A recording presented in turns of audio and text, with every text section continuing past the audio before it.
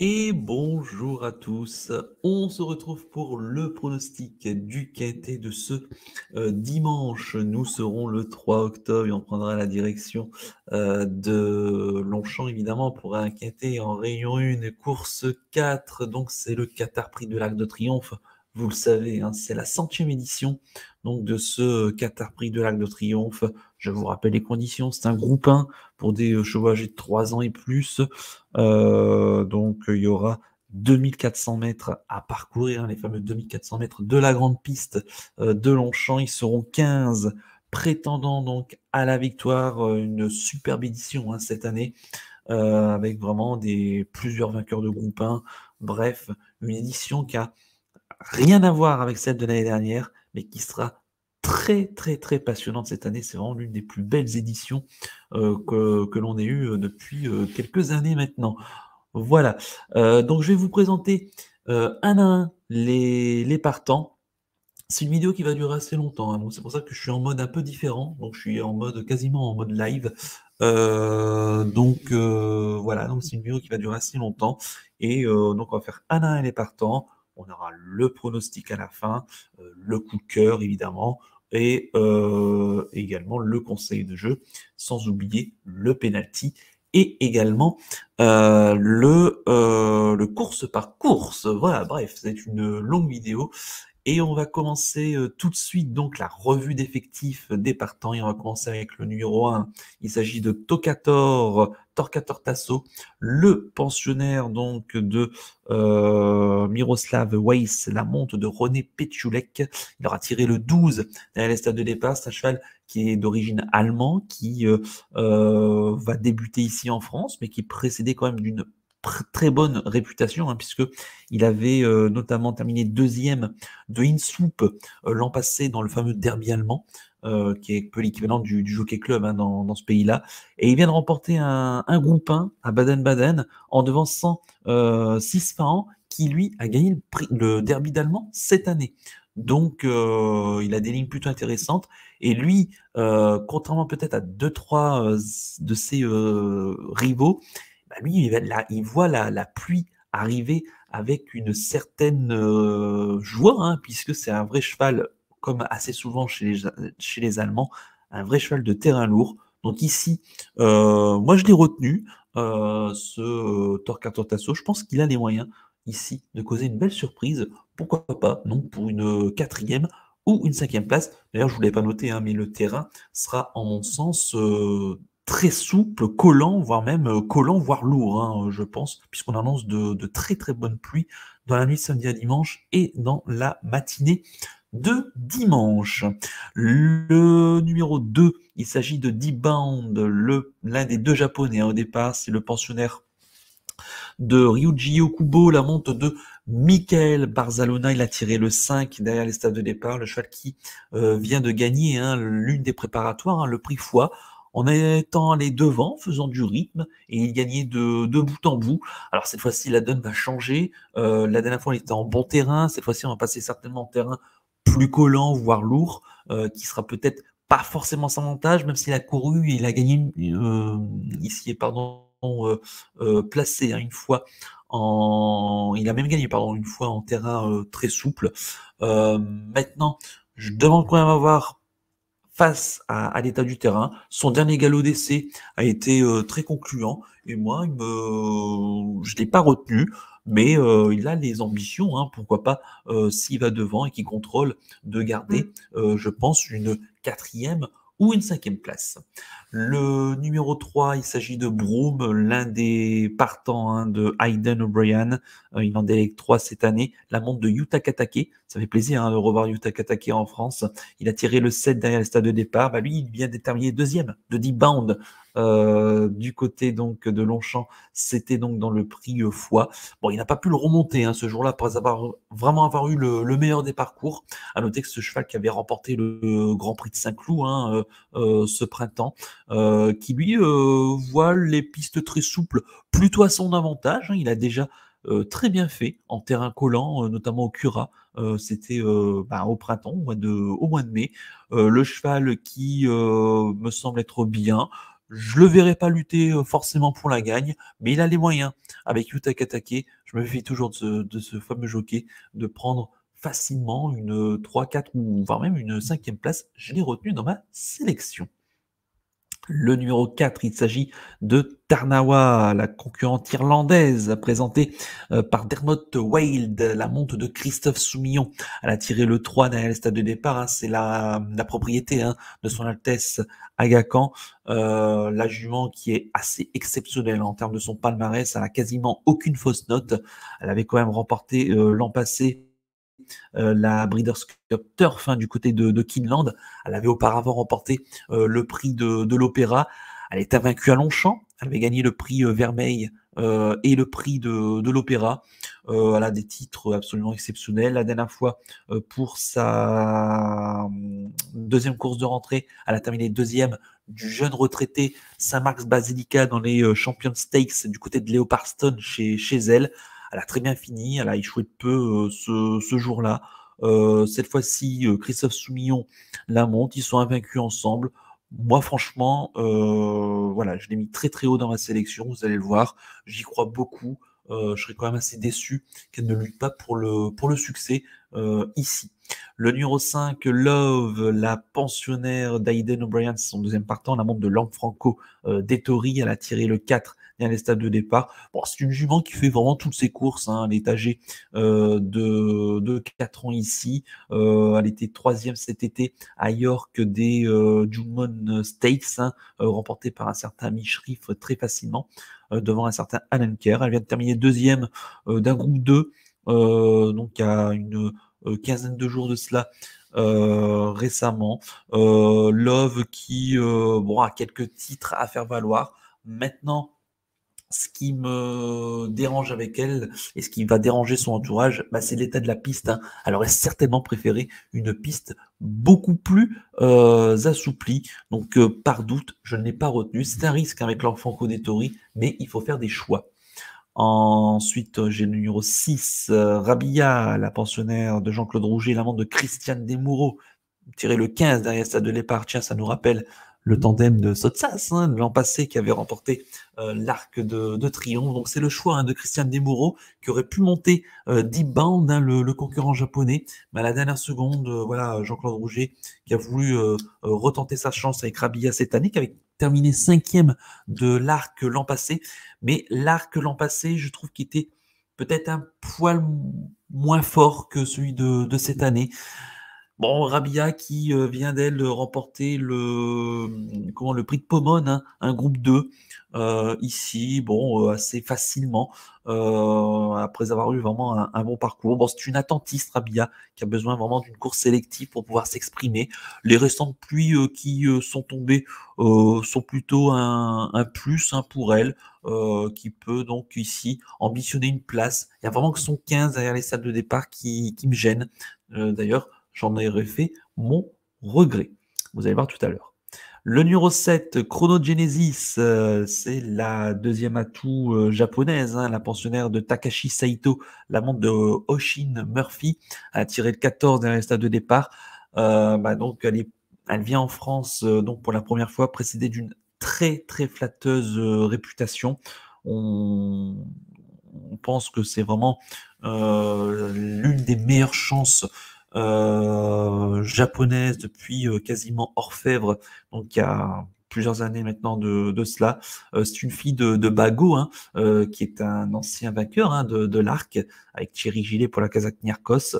voilà, bah, écoutez, Chronogenesis, euh, je regarde ses perfs, elles sont toutes assez euh, très bonnes. Hein, euh, deuxième de la Dubai Shima Classique, ça c'était pour sa tentative du côté de Maidan cette année. Deuxième de Mishrif, ce fameux Mishrif qui vient d'emporter une course récemment, donc qui, s'annonce très bon, enfin, en tout cas qui est très bon. Bah, Chronogenesis, voilà, hein, ses déplacements sont souvent très bonnes ici. voilà. Seul petit ombre au tableau, bah, c'est l'état de la piste, hein, l'état du terrain. Elle a déjà gagné en terrain très souple. Maintenant, à voir en terrain collant, voire lourd, ce que ça va donner. Maintenant, au vu de son palmarès au Japon, voilà, il était quand même logique de la mettre dans ma sélection. Maintenant, j'en ferai loin, loin d'être un coup sûr.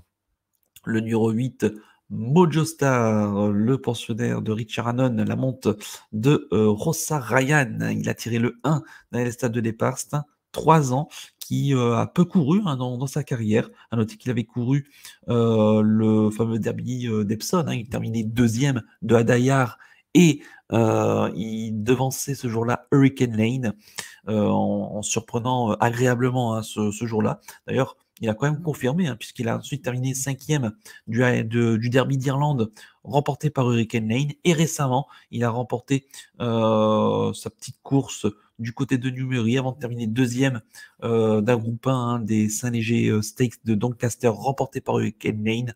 Je le pense barré pour la victoire, mais Sacha qui fait toutes ses courses et qui a les moyens d'ambitionner, là encore, la, cinquième place pour pimenter les, les rapports. Je n'ai pas retenu dans ma sélection. Le numéro 9, Baby Rider, le pensionnaire français, euh, présenté par Pascal Barry, la montre de Yoris Menzabal, il a tiré le 13 derrière les stades de départ, hein, présenté par euh, l'écurie Jean-Louis Bouchard, ce cheval qui euh, avait remporté le prix Grefful hein, au mois de mai sur l'hipporome de, Saint-Cloud. Il avait ensuite échoué dans le Jockey Club. Et puis dans le Grand Prix de Paris, il courait bien en prenant la cinquième place. Et puis récemment, deuxième du prix Niel, a battu très peu par euh, Bubble Gift, qu'on reparlera euh, tout à l'heure. Euh, Baby Rider, qui va voir lui l'assouplissement des pistes, qui pourrait servir ses, intérêts. Je l'ai pareil, je ne l'ai pas retenu. Et avec un Yoris Mizabal qui nous, qui nous est capable hein, de, très grandes courses. donc ici, pourquoi pas Là encore, pour ambitionner cinquième place, personnellement, j'en ferai pas un interdit. De toute façon, j'ai interdit personne hein, dans, ce, dans cet arc parce que tout le monde a vraiment, vraiment sa chance de, faire l'arrivée. Ça sera vraiment celui qui aura le meilleur parcours pour faire l'arrivée. Mais là, il y a son 13 qui me dérange et une opposition qui est quand même assez relevée, je trouve. Mais sait-on jamais, euh, dans, un champ réduit, euh, glissez-le quand même. Le numéro 10, il s'agit de Hadayar, le pensionnaire euh, donc de Charlie Appleby, la monte de William Buick pour la Kazakh Godolphin. Il a tiré le 11 derrière les stades de départ. Hein. Bah, c'est quand même cette année le vainqueur du derby d'Epson euh, au mois de, juin, euh, où on n'attendait pas forcément à pareille fête hein, d'ailleurs. Et ensuite, il a remporté euh, les King George euh, au mois de juillet, date de sa dernière course, hein, le 24 juillet. Donc il va faire une, petite réapparition de presque deux mois et demi. Euh, mais ce jour-là, il devançait un certain Michrif, Love et Broom, ce qui est quand même pas rien. bon, le, le cheval euh, qui me semble bien en tout cas, c'est le choix de William Buick qui aurait pu monter Hurricane Lane, on va en parler dans, quelques secondes euh, ici. Euh, à noter qu'il va découvrir, on va dire, les, les pistes collantes, voire lourdes. Il faudra voir comment ça sera son comportement. Je l'ai quand même retenu. Euh, ici, euh, je ne le verrai pas forcément gagnant, même s'il peut hein, euh, lutter pour, le succès, parce qu'il a quand même un sacré palmarès là depuis quelques temps. mais il peut être au moins ambitionné pour les places, voire mieux, vraiment avec un, superbe parcours. Le numéro 11, Hurricane Lane, le deuxième atout hein, de Charlie Appleby, c'est la monte de James Doyle. Il a tiré le 2 les stalles de, départ, hein. le troisième du euh, derby euh, euh, d'Epson, donc ce cheval qui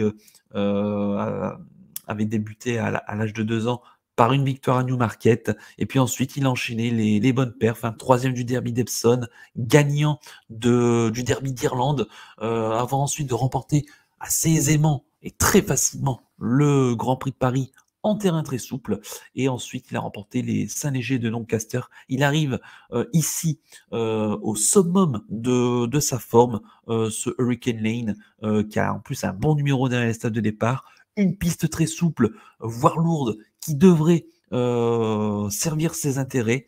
Je trouve qu'il a beaucoup, beaucoup d'atouts dans son jeu. James Doyle, qui est l'un des meilleurs pilotes en, en Angleterre, et il m'était fortement logique de l'avoir mis en tête de ma sélection. J'en ferai vraiment un favori tout à fait euh, logique ici. Je serais quand même déçu de ne pas le voir lutter pour le succès.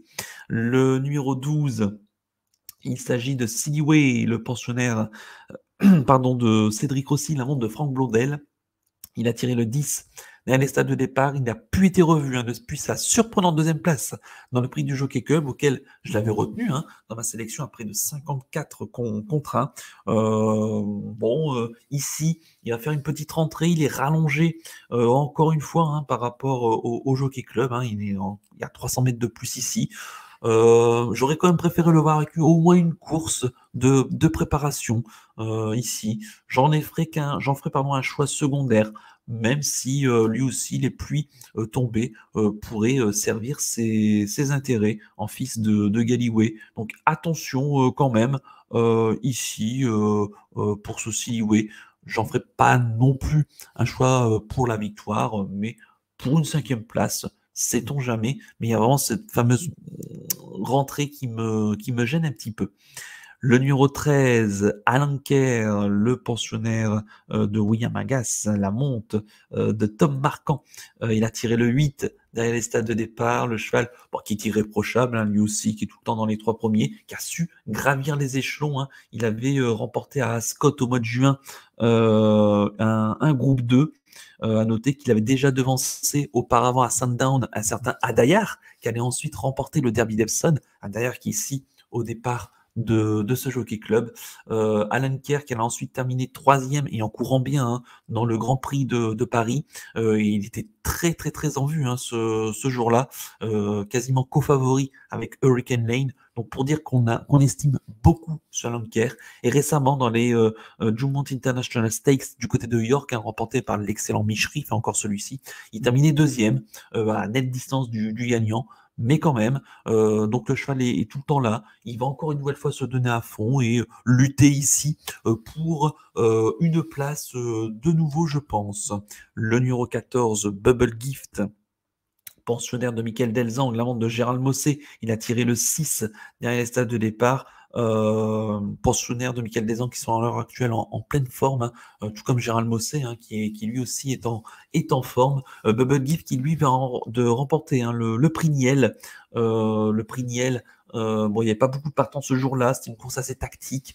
Il a très bien fini ce jour-là, après avoir été quasiment tout le temps dernier durant le parcours. Il a su mettre son petit nez devant Baby Rider. Ici, bon, ici, il monte un petit peu de catégorie quand même. Hein. Il affronte un lot beaucoup plus relevé, mais avec la forme de l'entraînement, euh, voilà, il n'est pas incapable d'arracher en lui aussi une cinquième place. Et puis enfin, le numéro 15, euh, Snowfall, euh, la troisième et dernière partante hein, de Hayden O'Brien, la monte de Ryan Moore. Elle a tiré le 9 dans les stades de départ. Il faut savoir que cette Snowfall, hein, elle était encore favorite de l'arc jusqu'à donc sa malheureusement sa contre-performance dans la préparatoire, hein, le, prix Vermeil pour elle, euh, puisqu'elle a terminé deuxième de Théona, qui est d'ailleurs l'absente hein, du, jour, euh, certainement à cause, en mon sens, de, l'état de la piste. Euh, Snowfall, bon, qui terminait deuxième. on attendait vraiment beaucoup, beaucoup hein, ce, jour-là dans le prix Vermeil. Elle a bien fini, parce qu'elle n'a pas forcément eu un parcours évident, longtemps à l'arrière, elle n'a pas pu revenir. D'ailleurs, c'était très compliqué hein, de revenir de l'arrière-garde euh, dans les arcs, euh, dans la réunion préparatoire pour, euh, pour l'arc. ici, donc Snowfall qui va tenter de se racheter, elle est pressée quand même d'une très flatteuse réputation. Hein. C'est quand même, elle a quand même cette année remporté les Yorkshire, Hawks. Hein, euh, ici, elle a remporté également euh, les Irish Hawks du côté du Cura ou encore euh, des Kazoo Hawks hein, du côté de Epson. Bref, et extrêmement facilement, hein, de, plus de 15 longueurs ce, jour-là. Bref, ne faut pas condamner Snowfall sur sa deuxième place quand même la, dernière fois. Moi, je la rachète, je la retiens. Elle peut lutter ici pour la victoire. seule ombre au tableau, bah, c'est l'état de la piste. elle aussi. Euh, à voir hein, pour, euh, euh, les, terrains collants, voire lourds. Mais en tout cas, je, la, retiendrai ici dans ma sélection. Voilà, donc on a revu ensemble les 15 concurrents. Je vais tout de suite et vous afficher mon pronostic donc ici. donc j'ai retenu en tête donc le 11 Hurricane Lane, en deuxième position le 4 il s'agit de Tarnawa. En troisième position, euh, j'ai mis euh, le numéro 15, Snowfall. En quatrième position, le 7, Chronogenesis. En cinquième position, le 3, il s'agit euh, de Broom. En sixième position, le 10, Adayar. En septième position, Las, Torcator, Tasso.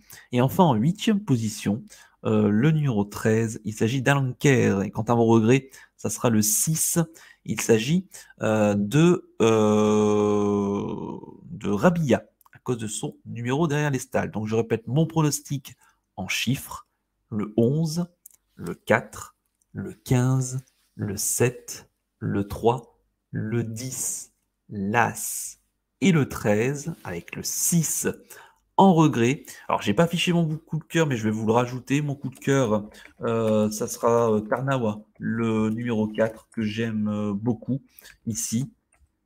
Et quant à mon conseil de jeu, écoutez, on peut faire un champ C base du 11 et du 4 avec le reste de la sélection et pourquoi pas y ajouter le, le regret ou même faire carrément un champ total. Hein, euh, qui sait ici, on peut avoir des rapports très intéressants. Hein. Euh, donc euh, ici, voilà donc pour le conseil de jeu. Puis donc Tarnawa qui est, qui est mon coup de cœur que j'aime beaucoup, beaucoup ici. Euh, voilà, je pense qu'on a vraiment préparé avec soin cette course et avec Christophe Soumillon, ça n'a jamais déçu. Et je serais quand même très déçu, elle aussi, si elle ne lutte pas euh, pour le succès. Et en plus, les pistes euh, très assouplies seront vraiment un atout pour elle. Voilà donc pour ce prono de l'Arc de Triomphe. Prenez-en bien note. Donc 11, 14, 15, 7, 3, 10, As et 13. Donc avec le 6 en regret. On va passer maintenant aux courses par course euh, pour euh, terminer. Quoique non, on va passer peut-être auparavant au penalty du jour. Le penalty du jour, eh bien, écoutez, euh, je suis parti dans la cinquième. ça sera le prix, le prix de l'opéra. Euh, c'est donc le groupe 1 qui viendra juste après hein, la course de l'arc. En réunion 1, course 5, hein, donc forcément sur les programmes de, Longchamp. Le prix de l'Opéra Longines, donc un groupe 1 pour des juments âgés de 3 ans et plus.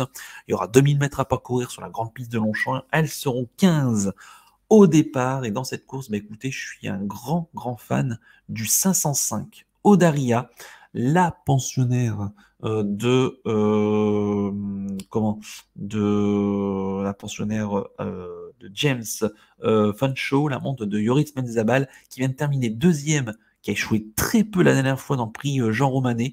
J'y croyais énormément ce jour-là. C'était d'ailleurs aussi hein, mon, mon, mon penalty. Elle avait vraiment, vraiment échoué très, très peu pour la victoire. Elle qui avait terminé deuxième des Princess of des Prince of White Stakes hein, cette année à Ascot de Love et des ensuite elle avait notamment l'an passé terminé troisième hein, de, de, cette course.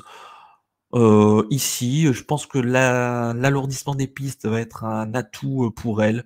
et je serais quand même là encore déçu avec Yoris Menzabal de ne pas l'avoir lutté pour le succès. La seule petite ombre au tableau, c'est que c'est une attentiste et qu'il faudra voir si les attentistes peuvent revenir de, l'arrière-garde. Mais sinon, je trouve qu'elle a beaucoup, beaucoup d'atouts euh, dans son jeu et qu'elle est à la recherche hein, d'une victoire euh, cette année. Elle qui n'a toujours pas remporté de course cette année. Donc, euh, je, l'aime beaucoup, je l'adore. Le 505 Odaria en Réunion 1 course 5 donc sur l'hippodrome de Longchamp.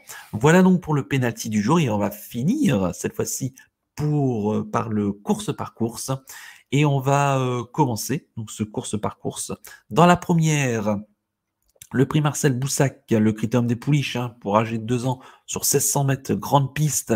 Mais écoutez, j'aime beaucoup le 103 Times Square. Euh, ici, je la pense capable, avec l'assouplissement des pistes, de lutter pour le succès. Avec Christiane Desmoureaux en plus à la monte, ça me semble être un choix euh, prioritaire. Dans la deuxième, le prix euh, Jean-Luc Lagardère, le critérium des poulains, cette fois-ci, 1400 mètres de nouvelle piste euh, à, Longchamp, même s'il y aura une pouliche au départ, le, à Kakaba, le, numéro 9, qui va tenter de défier les, poulains. Mais moi, j'ai plutôt retenu le 208, ancien Trom, le pensionnaire d'André Femme, la montre de Michael Barzalona, qui, je pense, est un poulain de très grand talent et je pense qu'il devrait gagner cette course, je pense très facilement.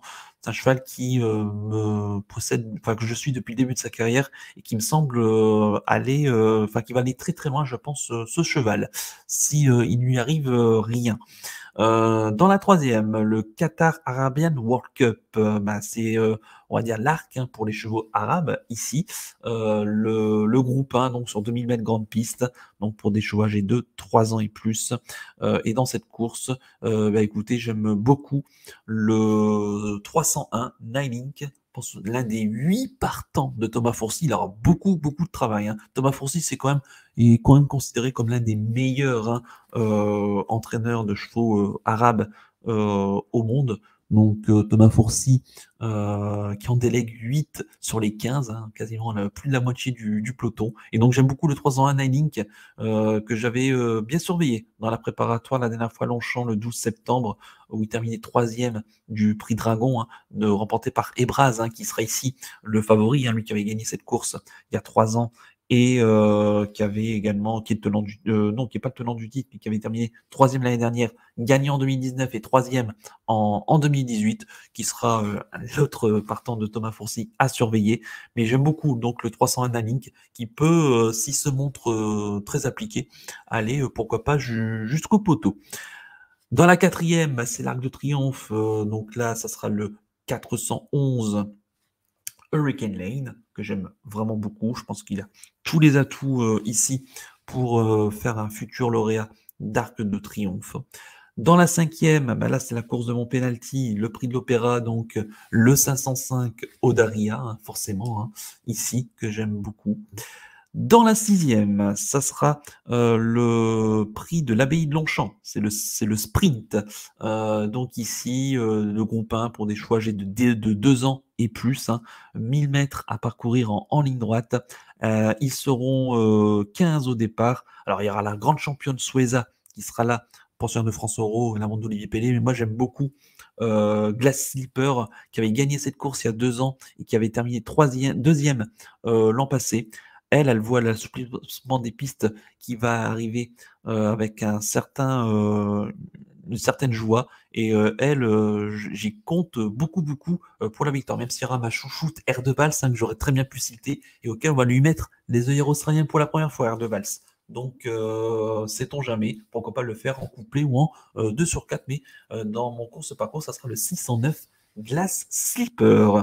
Et enfin, le dernier groupe 1 euh, du jour, la septième, ça sera le prix de la forêt. Donc, le dernier groupe 1 de l'après-midi euh, pour des chevaux âgés de 3 ans et plus. Ça sera sur les 1400 mètres du toboggan de, Longchamp. Ils seront 16 au départ. Et dans cette course, j'aime beaucoup le, 3, le 715 Speak of the Devile qui a couru de très très bonne façon dans le prix du pain. On l'a terminé troisième. Elle a évité une chute euh, elle a fini à la vitesse du vent. Elle a échoué très peu pour la victoire. Je pense que 50 mètres plus loin et elle gagnait euh, le, prix du pain.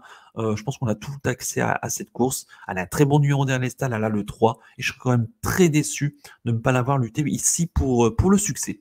Et enfin, les deux derniers handicaps, hein, les deux dernières courses du programme. Dans la huitième, donc le handicap pour euh, le, grand, le Qatar Grand Handicap des Flyers, hein, ici sponsorisé par RMC. Euh, ils ne seront plus que 17 au départ après le forfait du 3 Roderick. Et j'aime beaucoup le 805, mon ami l'écossais, le pensionnaire de, Stéphane Vattel avant de Théo Bachelot.